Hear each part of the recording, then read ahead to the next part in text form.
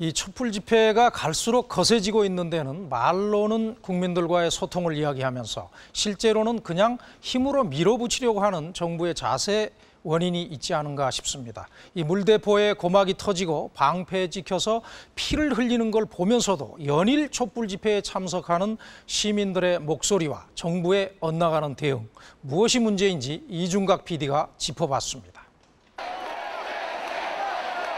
6월의 첫날 성남 민심은 새벽까지 수그러들지 않았습니다.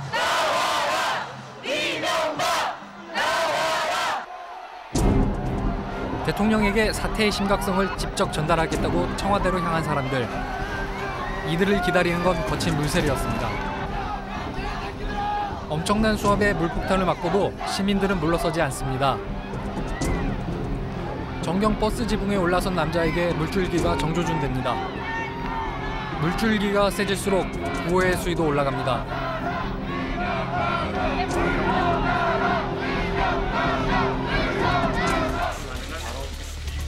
미국산 쇠고기 수입 고시를 발표한 지난달 29일 정부는 국민 여러분께서 무엇을 걱정하시는지 어떻게 해야 염려를 덜 수 있는지 깊이 고민하였습니다.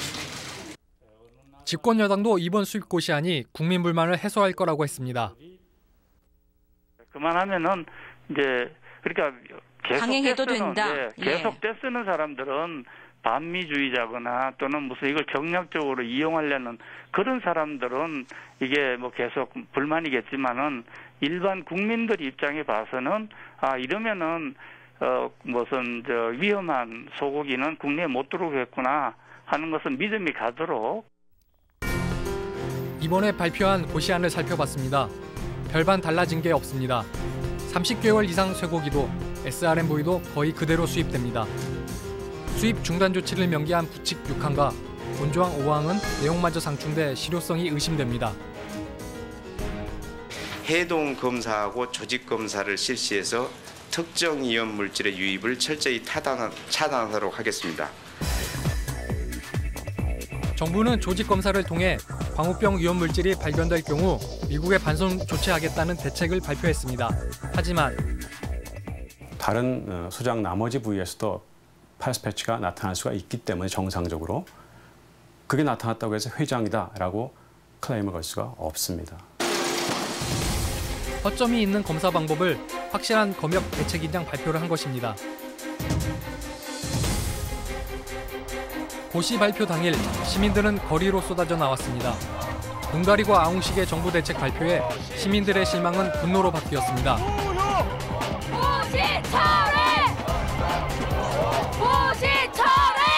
그 저희가 아무리 이렇게 촛불 집회를 하고 평화적으로 해도 정부에서 전혀 귀를 기울여지지 않으니까 그 사람들이 다 이렇게 거리로 나선 것 같아요. 국민들 시민들이 이렇게 계속 하다 보면은 지금 앞으로 점점 죽어가는 게 아니라 계속 이렇게 더 화나게 하잖아요 정부가 그러니까 더 열심히 더 나오고 거리로 나와서 네, 나중에 우리가 이길 것 같아요. 이명박 정부가 대처하는 그 양상이 실질적으로 상당히 좀 근본적인 해결책보다는 여러 무망 성격이 강하면서 실질적으로 이 시위가 다른 형태로 변화하고 있습니다. 고시 발표 후 첫 주말 최대 인파가 시청 앞 광장에 모였습니다. 유모차를 끌고 가족들의 손을 잡고 광장에 모인 시민들은 주최 측 추산 10만여 명에 달합니다. 국민들은 먹지, 먹고 싶지 않다고 그렇게 반대를 해왔습니다. 그런데 대통령이 어떻게 했습니까? 지금 하는 거 보면은 너무 국민들을 많이 속이고 있어요. 이러면은 어, 정부가 존속을 해야 될 어, 가치가 없습니다. 특히 젊은 어머니들의 참여가 높습니다. 내 아이에게 뭘 먹여야 좋을지 모르겠다며 미래에 대한 불안과 정부에 대한 불신을 토해냅니다. 정부는 이미 신뢰를 완전히 잃어버렸기 때문에 정부에서 정말 제대로 된 대책이라고 내놓는다 하더라도 전 국민이 검증을 하지 않는 이상은 절대 못 믿을 것 같아요. 국민들의 말에 귀 기울이지 않는 정부에 대한 실망은 분노가 됐습니다. 이미 민심은 쇠고기 문제를 넘어 이명박 정부에 대한 불신으로 이어지고 있었습니다. 여기저기 성남 민심을 담은 문구가 눈에 띕니다. 또 민영화라든지 많은 부분까지 서민 경제를 다 경제 잘 살린다고 해서 뽑았는데 지금 막상 지금 하는 부분에 있어가지고는 국민 건강이라든지 전체적인 게 다 이게 무시되는 것 같아가지고. 국민들의 의견을 무시하고 그냥 어, 그 권력까지 권력자가 그냥 그렇게 강행했을 때 어떠한 결과가 있었는지 이명박 대통령이 정말 지금 이 순간에 잘 생각해야 된다고 생각합니다. 하나 둘 켜진 촛불은 커다란 무리를 형성합니다. 누가 먼저라 할 것도 없이 청와대를 향해 행진을 시작하는 사람들. 도로를 점거한 시위지만 시민들의 호응이 이어집니다.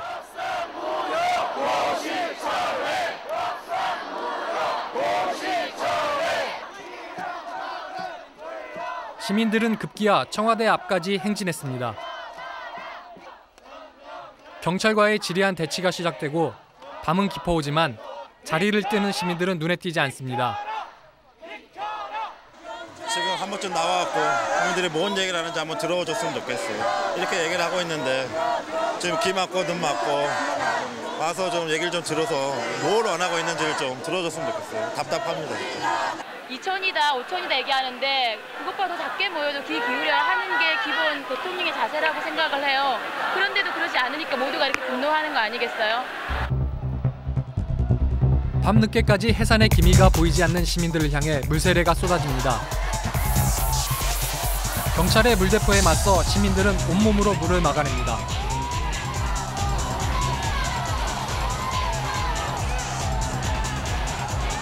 순식간에 아수라장이 된 청와대 앞길. 국민과 정부가 충돌하는 현장입니다. 호소의 촛불은 분노의 촛불이 됐습니다. 새벽 4시 성남 민심은 수그러들 줄 모릅니다. 결국 경찰들이 강제 진압에 나섰습니다. 더 이상 불법 행위를 방치할 수 없다는 판단이었습니다. 물세례로 몸이 흠뻑 젖은 한 남자가 경찰들의 손에 잡혀 몸부림을 칩니다. 넘어져 뒹구는 시민, 비폭력 시위장은 순식간에 아수라장이 됩니다.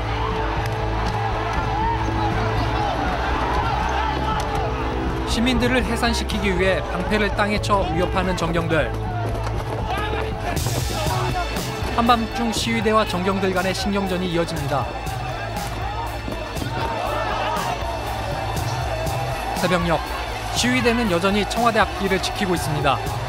또다시 강력한 수압의 물세례가 시위대에게 쏟아지지만 시민들은 밤새 맞은 물대포에는 아랑곳하지도 않습니다. 물대포에 이어 경찰 특공대까지 투입됐습니다. 밀려 넘어진 청년이 바닥을 뒹굴고 그대로 청년을 연행합니다. 살수차가 더 강한 물줄기를 쏟아냅니다. 그대로 버티려는 시민들이 수압을 못 이겨 도로 위를 나뒹굽니다. 한 남자가 집중적으로 공격 대상이 됐습니다. 다른 이들이 달려와 이 시민을 끌어내 겨우 위기를 모면합니다. 그 와중에 부상자도 부지기수. 물대포를 맞고 넘어진 남자 고통을 호소합니다. 어디 어디 어디 귀가 머리를 부딪혔어? 괜찮으세요? 피가 안 들려요. 물 들어갔나 봐. 아닌가? 다행히 피가 나서 다행이에요. 물인데 피 났습니다. 이날 시위에서 225명의 시민들이 연행되고 60여 명이 다쳤습니다. 비폭력 구호가 무색했던 현장. 가뭄의 사태를 지켜본 시민들은 한층 격앙된 모습입니다. 정말 경찰 그러면 안 된다고 생각해요. 공권력 남용, 남용하려고 생각하고요. 저희가 경찰한테 사람들한테 물대포 쏘라고 세금 내준 게 아니잖아요. 오늘도 바로 청와대로 들어갈 겁니다. 이명박은 광우병보다도 소보다도 국민들을 더 어, 무식하게 취급하는 사람이기 때문에 이명박 정부 규탄합니다. 광장 한켠에서 벌어진 춤판에서도 여지없이 이명박 정부에 대한 쓴소리가 터져 나옵니다. 이명박이 대통령 시켜놨더니만 난 대박인 줄 알았어. 아 근데 이게 왜 쪽박이요?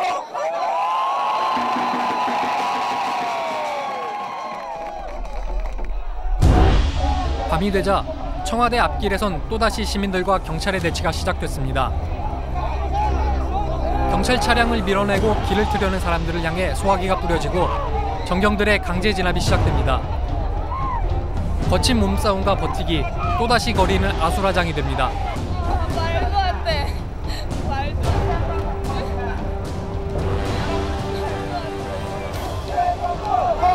성남 민심을 반영하듯 시위대의 구호가 격해집니다.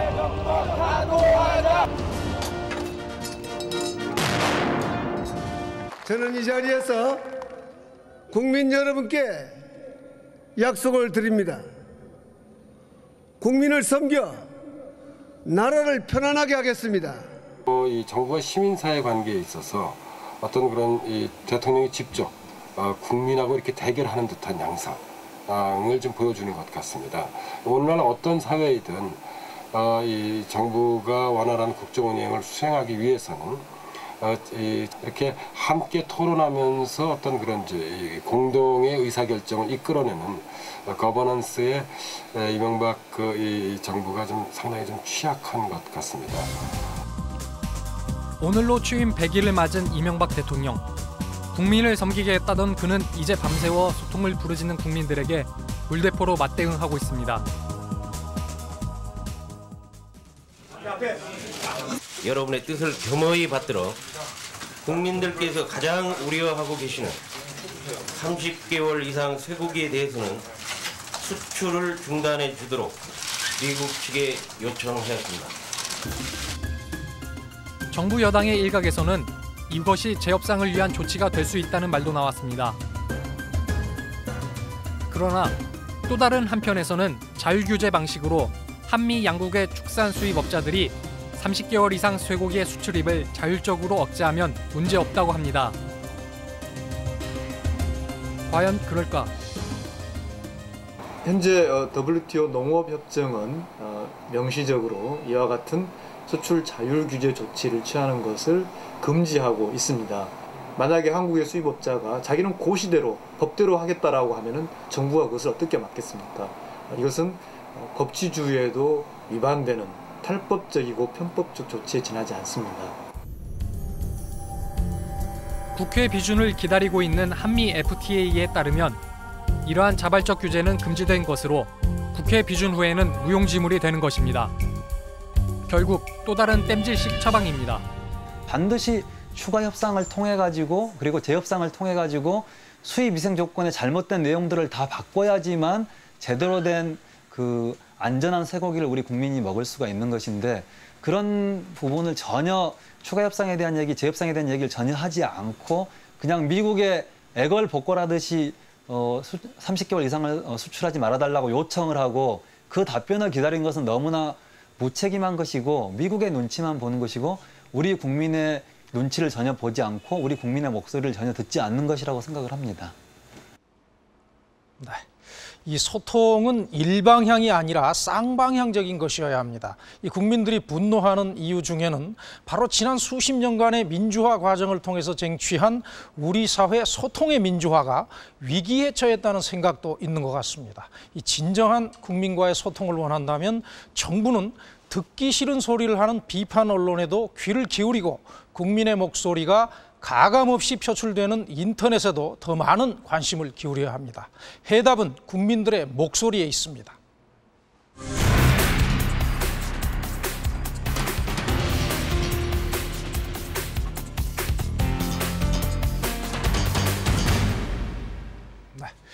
어, 저희 그 PD수첩 홈페이지에 보면 시청자 제보란이 있습니다. 이 최근 같은 사안으로 100건이 넘는 제보가 올라왔습니다. 이 포털 사이트에서 누구나 손쉽게 클릭 한 번으로 들어갈 수 있는 온라인 게임이 실제로는 도박이라서 많은 피해자들이 생기고 있으니 취재해 달라는 내용이었습니다. 이승준 PD, 예. 어, 이 온라인 게임 업체가 어, 어디죠? 네, 국내에는 한게임, 피망, 넷마블, M게임 등 4개 주요 게임 포털사들이 있습니다. 네.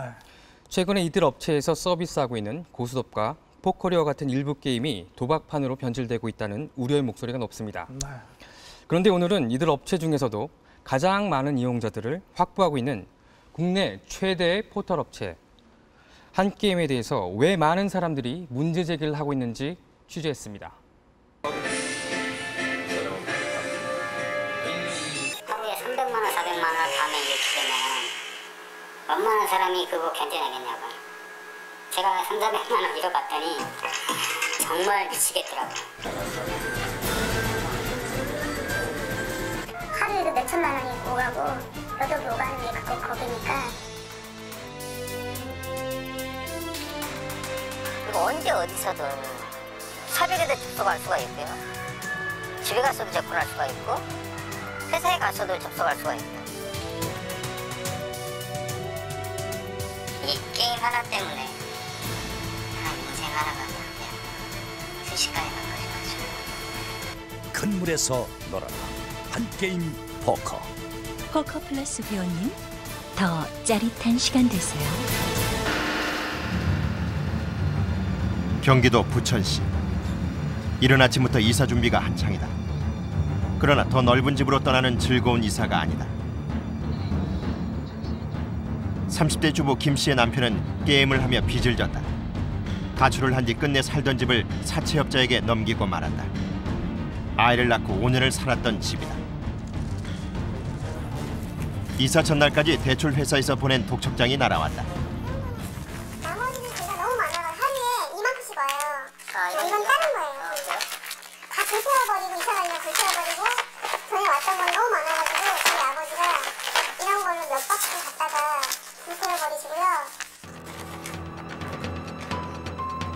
김 씨의 남편은 게임에 필요한 돈을 마련하기 위해 집을 담보로 10여 차례 은행 대출을 받는 것도 모자라 사채까지 빌렸었다.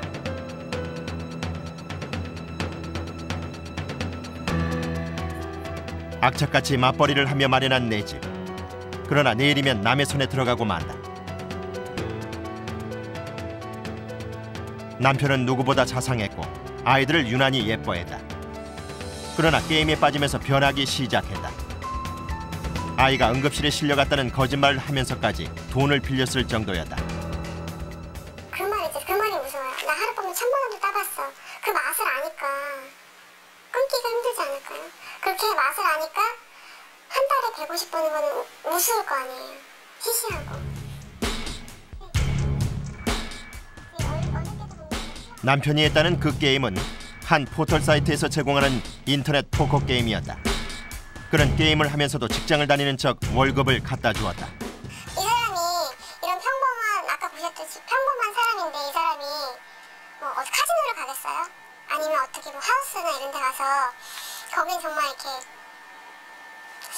그런 사람들이 가기 어색하고 쑥스럽고 알지 못하면 갈수 없고 이런 건데 24시간 인터넷은 연결돼 있고 자기만 그냥 여기 앉아서 접속만 해주면은 들어갈 수 있, 있으니까 그냥 온라인상의 하우스인 것 같아요. 다이 콜 조금만 더 대출을 받아서 다시 운전을 좀 찾아서 메꿔놓으면 찾을 수 있을 거다. 이거 몇 번을 반복하다 보니까 이제 손댈 수 없을 지경까지 오니까 팔아넘긴 거예요. 남편은 가출하고 이제 그녀는 친정에 들어가 살게 됐다.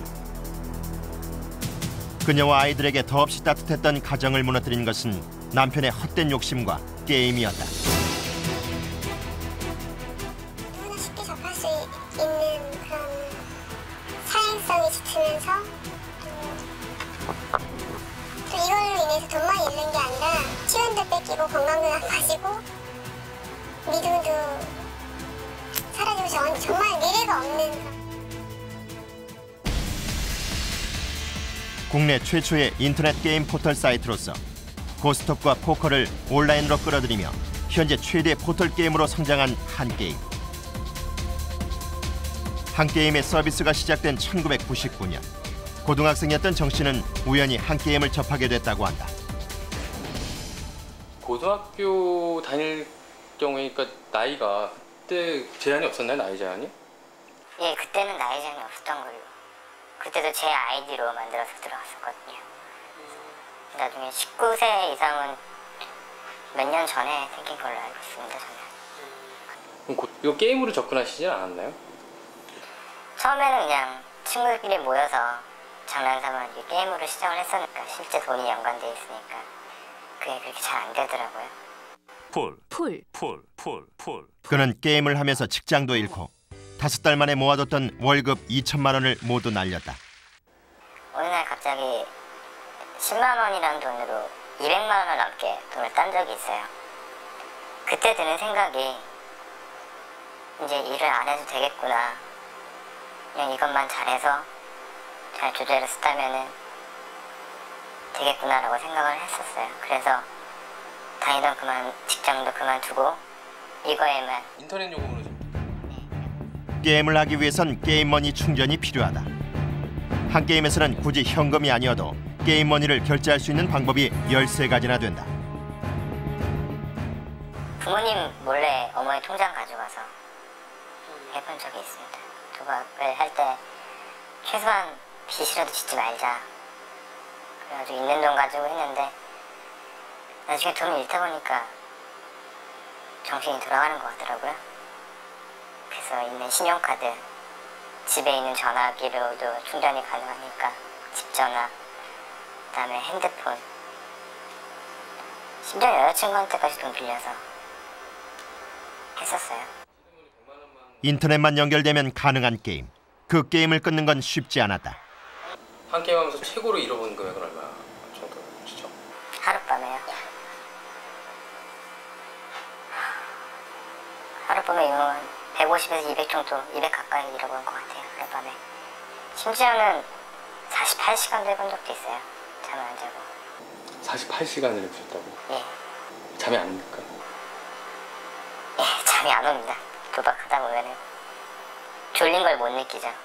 앞에 돈으로 계속 게임을 하다 보니까 일반 도박장 같으면은 강원랜드 같은 경우에도 문을 열고 닫고 하는 시간이 있는데 한 게임은 그냥 인터넷만 연결되면 24시간 어느 때나 내가 하고 싶을 때 그런 점이 있으니까 더 쉽게 빠져드는 것 같아요.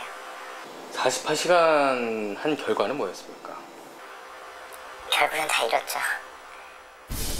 모든 걸 잃고 난 후에야 그는 게임을 끊기로 결심했다. 컴퓨터만 켜면 보이는 게임 사이트는 아직도 그를 유혹하고 있다고 한다. 불법적인 거라면은 경찰이나 뭐 검찰 중에서 제재를 해서 좀 잡아드릴 텐데 합법이잖아요. 일도 없고 그런데 피해자들은 계속 생기고 지금 이 순간에도 아마 하지 말아야지 하면서도 계속 하는 사람들이 엄청나게 많을 거예요 대한민국에. 이승준 PD. 어, 이 한 게임이라는 것 때문에 이제 집을 잃어버리고 또 인생까지 망가지는 사람들을 방금 전에 봤는데 이게 그 비단 한 게임이라고 하는 어, 데서 서비스하는 그 인터넷 게임 요것만은 아니겠죠? 네. 그렇습니다. 다른 게임 포털 업체들도 고스톱과 포커와 같은 게임을 서비스하고 있기 때문에 그러한 책임에서 자유로울 수 없습니다. 네. 다만 한 게임이 현재 회원수 3,200만 명, 하루 이용자 300만 명, 최고 동시 이용자 수 28만 명을 자랑하는 국내 최대의 게임 포털이기 때문에 음. 그 피해가 심각하게 드러나고 있다고 보시면 됩니다. 네. 어, 손정은 아나운서. 네. 어, 근데 왜 이렇게 그 인터넷 게임이 말이죠? 자꾸 그 도박화되고 있는 것일까요?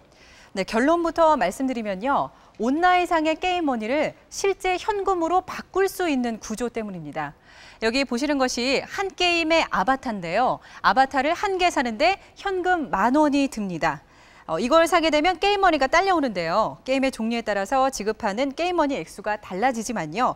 포커 게임의 경우에는 아바타 한 개당 6조, 추가적으로 플러스 회원 등에 가입하면 7조 2천억 원까지 게임 머니를 받게 됩니다. 그런데 이 아바타를 무한정 살 수 있느냐 하면 그건 아닙니다. 한 사람당 월 30만 원의 한도가 정해져 있는데요. 그런데 이 베팅을 하면서 게임을 하다 보면요. 30만 원 한도가 금방 떨어지기 마련이죠. 그러면 한 달에 더 이상 게임을 할 수 없느냐? 그게 아닙니다.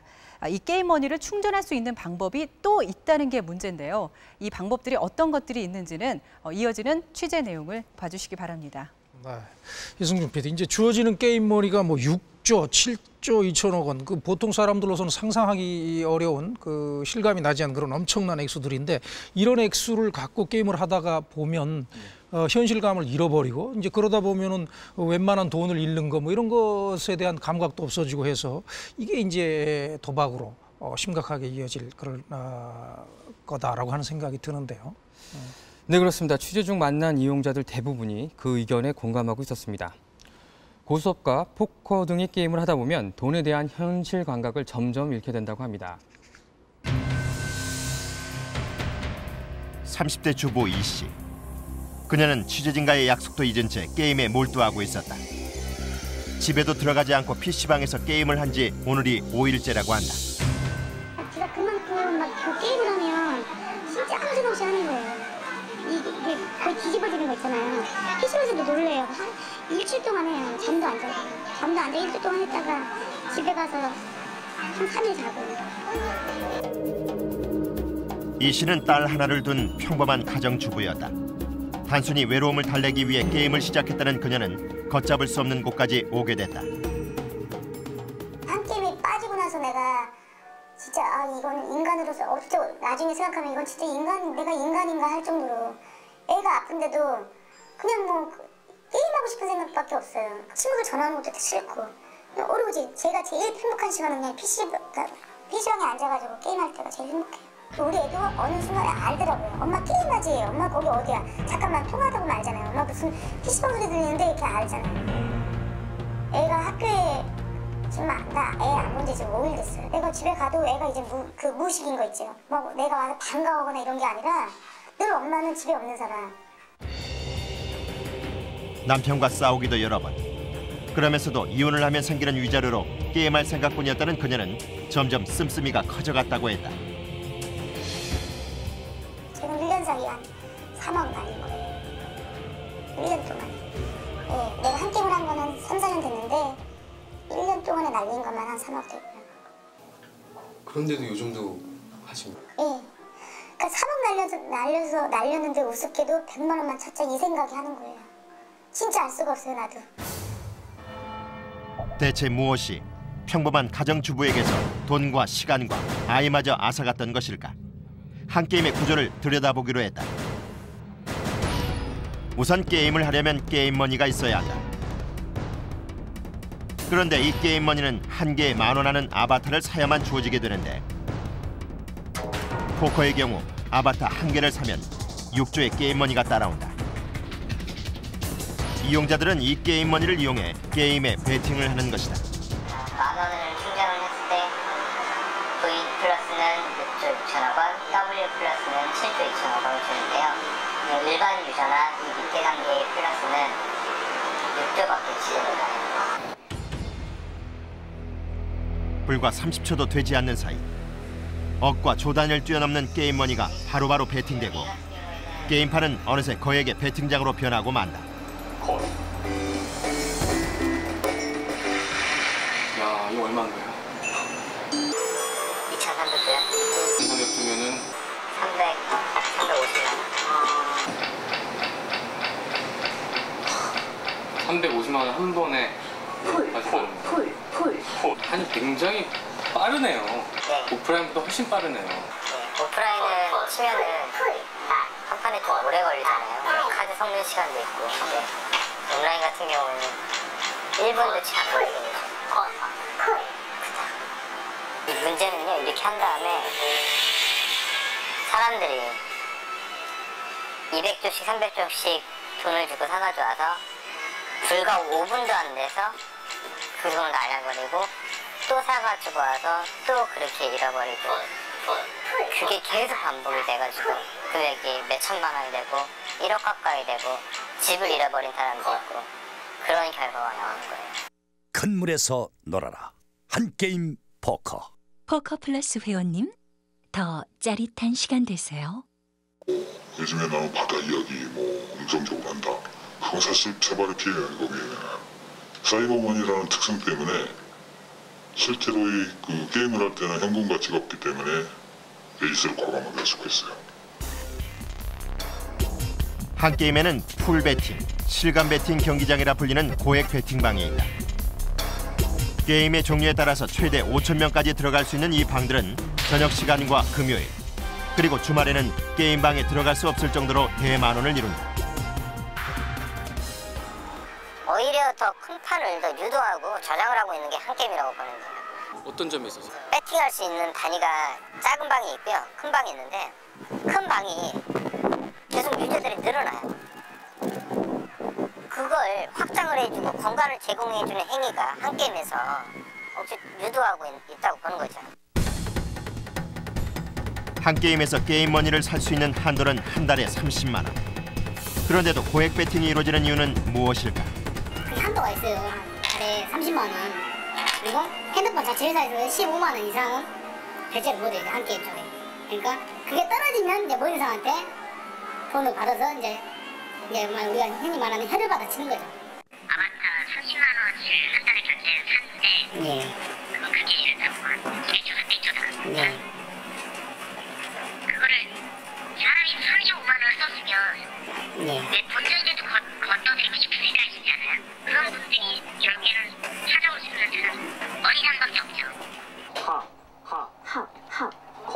전화나 사이트 접속을 통해 연결되는 게임 머니 환전상은 현금을 보내주면 언제든 게임을 할 수 있는 게임 머니를 공급해 준다. 제가 거래를 한네 군데 군데에서 제가 최고의 그 고객이에요. 그래서 어떡하면 그 머니가 두 군데, 세 군데에서는 저를 외상을 깔아주는데요.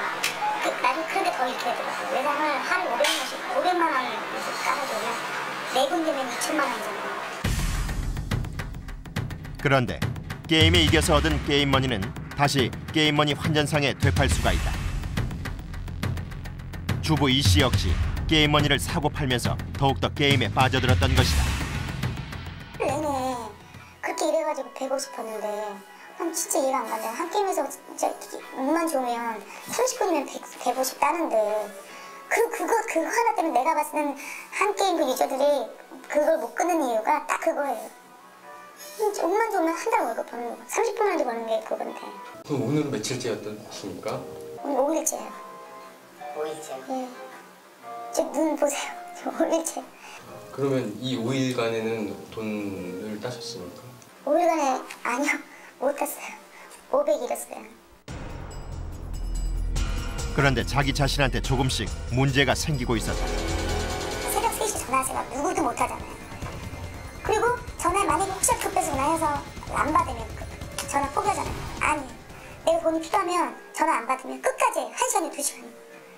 어떻게든 그 사람이 받게끔 해서 그 사람이 그 게임을 하면은 그 정도로 막 미치는 거 있죠.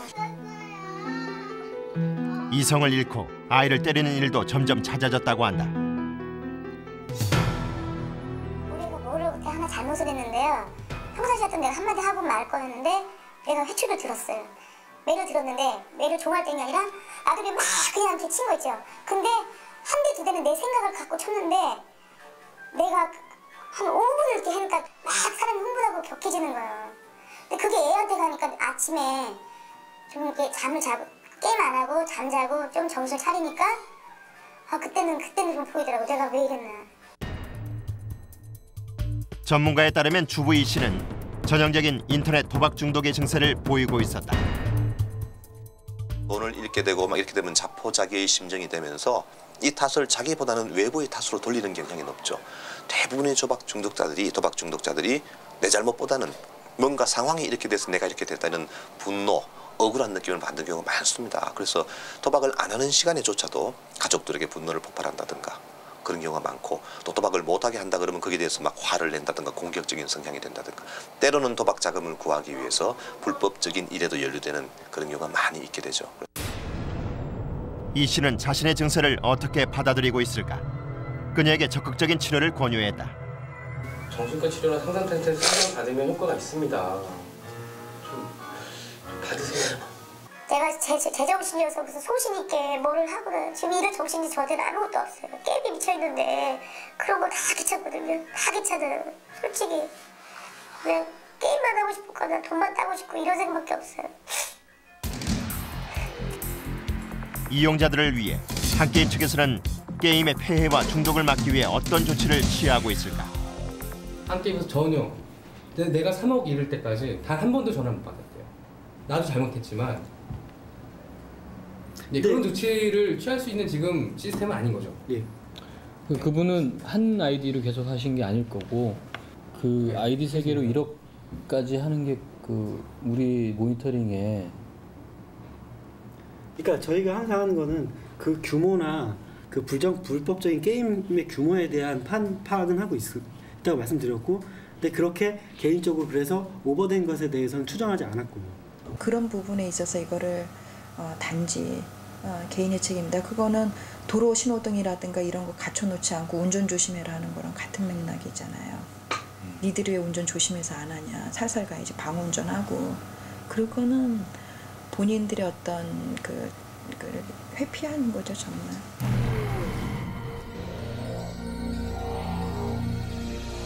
게임 이용자에 대한 안전장치의 소홀한 사이 그녀는 다시 게임을 하기 위해 PC방으로 발걸음을 옮기고 있었다. 이승준 PD. 어, 게임으로만 즐길 것이지 뭐 누가 도박하라고 그랬냐 뭐 이렇게 에, 얘기하기가 쉬운데 에, 미국산 쇠고기 안 사 먹으면 되지 않느냐 뭐 이렇게 에, 얘기하는 것처럼 좀 무책임한 말이 되겠죠. 왜냐하면 어, 게임머니 환전상까지 등장해서 어, 게임머니라는 가짜 돈을 현금화해주고 있고 또 업체가 고액 베팅 방을 에, 운영하고 있으니까 어, 이용자 입장에서는 환전을 해서 계속 하고 싶은 그런 유혹을 떨치기가 굉장히 어려울 텐데 말이죠. 어, 그러다 보면 이제 인터넷 게임이 도박 증상으로까지 발전할 수 있다는 얘기인데 이게 심각한 것 같아요. 예, 그렇습니다. 그래서 취재 중에 만난 이용자들은 고액 베팅으로 게임이 도박화되고 있다는 것들을 뻔히 알면서도 네. 영업상의 이익을 위해서 네. 어, 한 게임 측이 이를 방조하고 있는 것이 아니냐라고 한 게임 측을 강하게 비판하고 있습니다. 네. 어, 근데 이제 인터넷 게임의 경우에 실제 그 도박하고는 좀 다른 것이 인터넷만 연결돼 있으면 어, 금방이라도 또 누구라도 쉽게 거기에 접할 수 있다라고 하는 특징 때문에 에, 부작용이 더 시, 에, 심할 것이고 또 쉽, 아, 문제가 더 크게 되는 것이죠. 예, 그렇습니다. 그 인터넷 게임이 사행, 사용화될 경우에 오프라인 도박의 중독과 다를 바가 없다고 합니다. 아, 그래서 도박 중독 전문가들의 의견을 들어봤는데요. 도박 중독자들의 연령이 낮아지는 등의 문제가 발생하는 등 더 큰 사회적 문제가 발생할 수 있다고 그렇게 네. 지적하고 있습니다. 네. 하지만 그러한 부작용들이 소위 불량 이용자와 게임 머니상만 단속하면 해결될 수 있는지 제도적인, 제도적인 보완책은 없는지 살펴보았습니다. 지난 5월 한 게임의 포크와 고스톱에 사용되는 게임머니를 불법 거래한 환전상들이 무더기로 검거됐다. 이들은 100여 개의 환전 사이트를 통해 무려 850억 원의 거래를 하며 45억 원의 이득을 챙겼다. 상상을 초월한 그러한 그 규모입니다. 이게 사이버머니로 해서 6천 경 정도를 했는데 사실 뭐 상상이 안 가는 그러한 그 액수입니다. 이게. 환전상을 통한 850억 원의 불법 거래.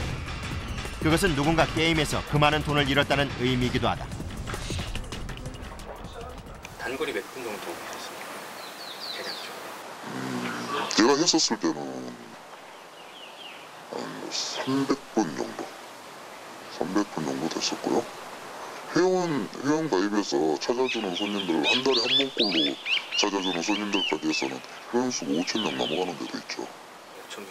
아 그럼요, 만명 넘어가는 데도 있는데요.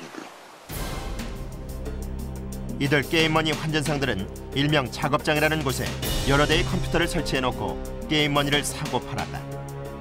싸게 샀다가 비싸게 되파는 수법으로 이득을 챙겼다. 대포 통장과 대포폰을 사용하는 것은 기본. 단속을 피하기 위해 중국에 서버를 두고 운영하는 경우도 있었다. 입금이 확인되면 환전상은 게임머니 구매자와 통화를 하며 한 게임 사이트로 초대를 한다. 친구미장 1-2 채널에 계신 거예요? 네, 초대해드릴게요. 들어오세요. 구매자가 지정한 게임방으로 들어오면 곧바로 게임을 시작한다. 이때부터 환전상은 일방적으로 게임에 져주는 방식으로 게임 머니를 넘겨준다. 이른바 수혈을 하는 것이다. 게임 머니를 현금화하는 것은 엄연한 불법이다. 게임이 도박화되기 때문이다. 그러나 한 지방 도시 이곳에선 한 게임 전용 PC방까지 생겨 성업 중이었다.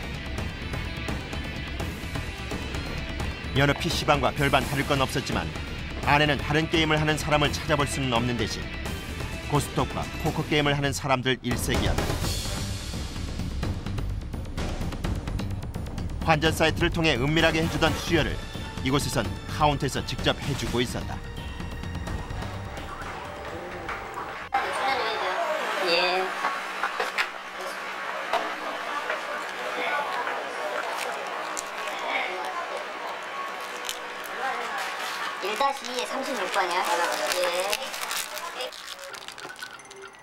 비용은 직접 현금으로 건네받고 게임과 함께 수혈이 시작된다. PC방 주인이 환전상인 셈이다. 해도 안 보고 무조건. 아,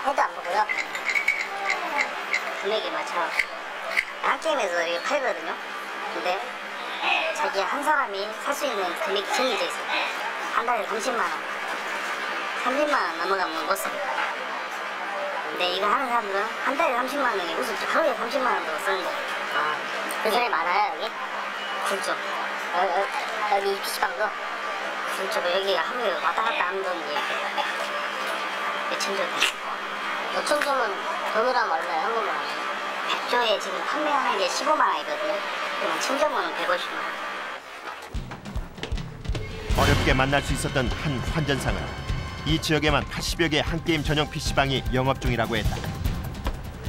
제가 네 명이서 하는 데가 있는데 한 제가 알기로는 80명 그러면 하루에 왔다 갔다 하는 게 순수 게임 순수 게임은 8천원씩 8천 조씩 왔다 갔다 나가더라고. 8천 조 팔고 8천조 거의 매일 하고 그럼 그 사람들 한달 수입이 한 3천만 원 4천만 원. 4천만 원 정도 돼요. 네 명이 3천만 원. 4천만 원 갖고 4천만 원 갖고 천만 원씩 먹는 거죠. 지금 이 구조로는 사이버상 그 단속하더라도. 예 절대 안- 절대 안 바뀝니다. 한번 생각을 해보십시오. 야, 나 좀 다가 PC 앞에 앉으려는 게 수혈 좀 해주라. 그래, 형님. 그럼 몇 시에 음, 컴퓨터 앞에서 만납시다. 은밀할 뿐더러 개인 간의 거리니까 이걸 가지고 하자를 잡을 수가 없지. 환전상들의 등장으로 한 게임에서 도박을 하는 사람들이 계속해서 생겨나고 있다. 이에 따라 아바타 판매를 통해서 한 게임이 영업이익을 얻고 있는 가운데 사행성 논란이 계속해서 제기되고 있다. 사실 저희는 항의를 하고 싶어요. 여기서 돈이 오고 가는 구조가 아닌데 왜 사행성이냐? 이것은 게임이다. 사행성은 진짜 사회적 무리 일으키는 그런 사람들이나 도박으로 분류할 문제지 게임과 사행성 어울린 단어가 아니다. 한 게임 내에서 돈이 환전되지 않고 환전상에서 가기 때문에 자기네랑 상관없는 일이다. 한 건 상관없는 일이니까 자기네는 도박을 하게 하는 게 아니라 게임을 하는 거다. 이렇게 주장을 하는 거죠. 하지만 우리 그 바다 이야기가 왜 도박이겠어요? 바다 이야기 그 업장에서 환전해 주나요? 바로 그 옆 담배 가게에서 환전을 해줬죠. 그럼 바다 이야기 왜 잡았는데요? 한 게임 측에서는 돈을 직접 베팅하는 것이 아니라 아바타를 사면 딸려오는 게임 머니를 쓰는 간접 충전 방식이기 때문에 사행성이 없다고 주장하고 있다. 과연 한 게임 이용자들도 업체의 주장에 동의하고 있을까? 야, 이, 이게 만 원인가요? 이 그림만 만 원이죠. 이 그림만 만 원이죠. 예. 그럼 실질적으로 이 그림 하나 만 원 주고 사는 사람이 있을까요? 한 게임에서 이거 하는 사람 중에는 제 생각엔 단 한 명도 없을 것 같아요. 사이버 머니 때문에. 그렇죠. 아바타에 부가적으로 딸려오는 그 사이버머니를 결국엔 사는 거 아니겠습니까? 이제 그건 주관적인 구입 의도기 때문에 저희가 이렇다 저렇다 말씀은 못 드리고요. 일본 같은 경우는 아바타가 좋아서 사시는 분들이 대부분 많습니다. 우리나라는 어떻습니까? 우리나라도 마케팅 부서가 있 게임의 사행성 논란을 부추기는 것은 불법 게임 머니 환전상이라는 것이다. 돈을 만 원씩 이렇게 사는 게 어떤 미친놈이 만 원씩 이렇게 안 아까워서 이렇게 버리겠습니까? 뭘 사겠습니까? 환상한테 팔 수, 또 현금으로 팔 수가 있으니까 게임을 하는 거고 그걸 모으기 위해서 발버둥을 치는 거죠. 한게임 측은 지난 4월 클린 센터를 확대 개편했다. 특허 출원까지 한 시스템으로 24시간 모니터링을 하며 불량 이용자와 불법 환전상을 가려내 경찰과 활발한 공조 수사를 벌이겠다는 의지의 표현이다. 그러나 국내 최대의 온라인 게임 포털 업체로서 불법 거래를 하는 환전상과 이용자의 유형을 분석해 보다 적극적으로 개입하여 게임의 폐해를 막을 수는 없는 것일까? 이룬 사람 몇 명인가? 데이터 돌리면 오래 걸리나요? 그게 한 게임에서? 제가 제가 다시 그 조금 빛나서 말씀을 드리면 빗나가게 말씀하지 마시고 아니 이제 그 제안에는 좋은 아이디어라고 생각이 들어요. 사- 사실 아, 하셨나요, 그렇게 검토? 못 해봤습니다. 예. 아, 이런 검토 예, 안 그러니까 하셨나요? 저희가 말하는 거는 비정상적인 게임에 대해서만 예. 얼마나 분포들이 있는지에 대해서 파악을 하고 있는 거고 그것들을 잠정적인 머니 거래라고 판단을 하는 거고 그것들을 어떻게 처벌할 것인가를 고민했다는 말씀을 드리는 거죠. 예, 저는 그래서 예. 이런 것들은 이런 것들은 그 조사가 안 되는 거죠. 예, 개인적인 trace는 안, 하- 못했다고 말씀을 드렸죠. 방치하는 거죠. 방치하는 거죠. 그런 모른 척하는 의혹이 거죠. 있는 거죠. 그렇습니다. 의혹이 아니라 그 명확한 사실이죠. 만약에 한 게임의 그 관리자들이 그것을 적발해내겠다고 작정을 하고 랜덤으로 들어가서 어느 게임에 딱딱 로직을 분석하면 그럼 명확하고 그 아이템 한 사람들을 정보가 다 있을 거 아닙니까? 그러면 이건 막을 수 있는 거죠. 한 게임에서 협조하지 않는 거죠. 그런데 한 게임의 사행성 논란은 2003년 영상물 등급 심의를 거칠 때부터 이미 제기됐던 문제였다고 한다. 근데 우려 안 된다는 거죠. 우려. 어. 어, 어떤 것든 확실해야지 이게 뭘, 뭘 하지. 그럴 우려가 있거나 그럴 가능성이 있거나 이러면은 안 되는 거죠. 우려로, 우려로는 잡을 수가 없다. 게임 사업자의 그 영업상의 그 자유를 방해하는 거다. 이렇게 얘기를 하- 하죠. 사행성 게임으로 분류되면 경마나 카지노처럼 국가에서 관리하게 된다.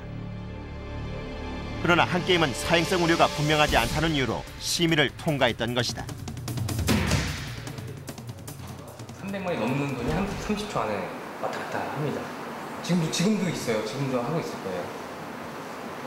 그거는 게임인가요, 도박인가요? 그쯤 되면 상식적으로.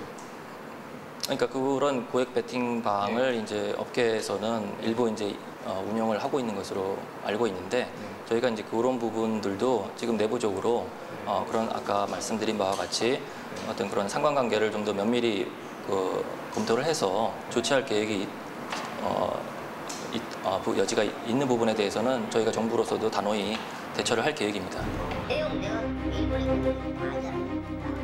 정부가 해법을 찾아 뒤늦게 대책을 세우는 동안 일부 한 게임 이용자들은 국가와 한 게임을 상대로 소송을 준비하고 있다. PC방 가는 거 얼른 게임하고 똑같은데 그 사람들한테는 다 제재를 하고 했잖아요. 못하게. 그 NH는 그대로 놔뒀잖아요. 그 나라에서 그거 인정해줬으니까 이제 NH는 돈 못 받으니까 이제 정부에서라도 이런 걸 만든 자체에 물론 누가 잘못인지 모르지만 한 내가 잘못이지만은 그 한 내가 잘못이지만은 어떤 책임 소재를 이제 물어보려고 그러는 거죠.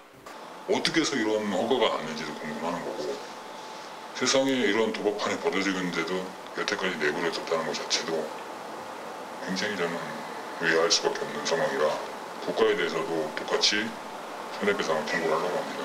음, 과연 그게 법적으로는 책임이 없다고 할지 모르겠지만 도덕적으로 많은 사람들이 도박에 중독되어 있는 건 사실이고 그 사실을 이제 와서 뭐 어쩔 수 없이 다 다 알게 될 거고 그 부분에 대해서 책임이 있다는 거죠.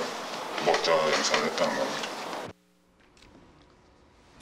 이승준 PD, 오늘 그 취재한 내용을 쭉 보니까 한 게임의 그 폐해가 과거에 그 문제가 됐던 바다 이야기 못지않게 심각하지 않나 이런 그 생각이 드는데요. 예, 그러한 우려를 어, 많이 하고 있습니다. 예. 그래서 그 이 사용성 논란을 어, 또 점검을 해서 정부가 점검을 해서 어, 이러한 피해를 막을 수 있도록 조치를 취해야 된다 이런 의견 많습니다.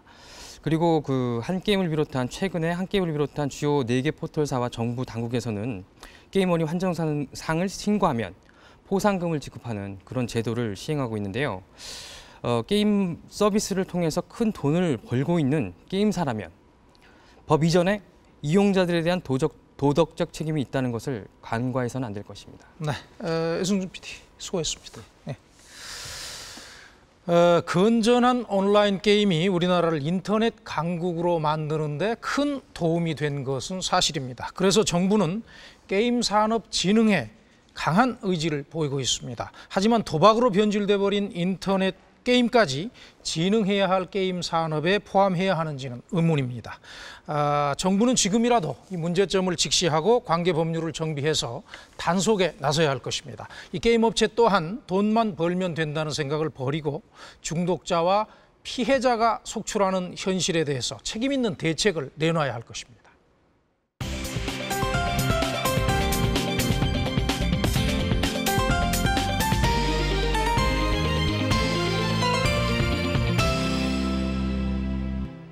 네, 오늘은 국민과 이명박 정부의 소통의 해법은 과연 무엇인가? 그리고 한 게임의 도박 유혹에 관한 방송을 했는데요. 문자 메시지 소개해드리겠습니다. 7221님의 문자인데요. 게임 시장은 날로 커지는데 이를 단속할 수 있는 관계 법령은 허술하다. 법정비가 시급하다라고 보내셨고요. 그리고 2663님, 전 한 게임을 3년 정도 했는데 2천만 원 정도 날렸습니다. 부탁입니다. 없어지게 해주세요라고 보내셨네요. 그리고 442님, 도박에 어떻게 그만둘 수 있지만 정작 맞지 못하는 것은 현재로서는 나라 정책입니다라고 하셨고요. 0207님, 이명박 정부 출범 100일 물대포와 조산모사의 대책으로 촛불을 끌 거란 기대를 하십니까? 라고 보내셨네요. 국민에게 항복해야 한다고 했던 홍준표 원내대표의 말이 생각납니다. 국민의 지지로 선출된 대통령이 국민을 상대로 싸우려 하지 말고 국민과 진정 소통할 수 있는 방법을 빨리 찾아냈으면 좋겠습니다. 방송이 끝난 이후에는 여러분의 의견을 인터넷으로 받겠습니다. 정리해서 다음 주에 소개해드리겠습니다. 네, 손정은 아나운서 수고했습니다. 어, 미국 쇠고기에 대해서 같은 입으로 태연이 두 말을 하고 연일 계속되는 촛불 집회를 괴담에 휩쓸리고 배후 세력의 조종에 노란한 어리석인, 어리석은 국민들의 억지 부리기쯤으로 치부했던 신문들에 대해서 독자들의 구독 중지가 이어지고 있다고 하지요. 어, 섭취해서는 안 되는 게 불량식품만은 아니라는 걸 알았기 때문일 겁니다. 어, 이번 주에도 촛불 시위는 계속될 전망입니다. 하지만 촛불이 상징하는 평화와 비폭력을 끝까지 견제하면서 조금이라도 경찰에게 과잉 진압에 빌미를 주지 않는 것도 성숙한 민주 시민의 자세가 아닐까 생각합니다. PD수첩 오늘은 여기까지입니다. 감사합니다.